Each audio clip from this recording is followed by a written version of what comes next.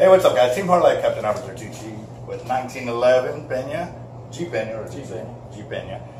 Our YouTube subscriber that originally won, and last time when he came in, we didn't have all the gifts on hand because they were in the mail. Well, guess what? Today is they came in, so they actually sent him some kudo packages too of some gator lures with the koozie right there, or gator stickers. I'm brain dead right now, guys.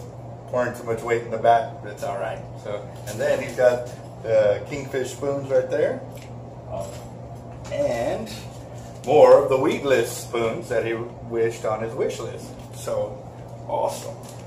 All right. And thanks again. Appreciate And it. Awesome. Congratulations. Thank you. So again, guys, sometimes it takes us a little while to get it in, but you will get your prizes, and we will move on. We're waiting on the next two guys to come in because the rest of their gift packages came in. Their guy hasn't come in yet because he's flying in from out of the country. What? Yes, we had a YouTube subscriber win from out of the country. He will be in to pick up his reels because he actually bought some Avets from us as well. So exciting, exciting. Stay tuned to the next one.